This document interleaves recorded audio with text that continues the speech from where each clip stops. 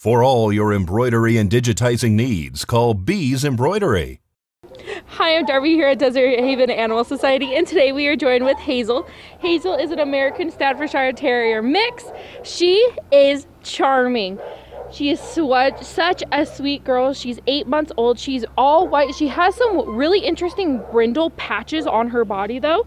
She has a lot of energy. She's super sweet. You should definitely come down and see her. Let her run around the play area with you. Get to interact with her. Come on down and see her at Desert Haven Animal Society. They're on Surrey Lane behind the Nye County Courthouse. You can give them a call at 775 751 7020. You can look them up on Facebook at Desert Haven Animal Society or go online at deserthavenas.org.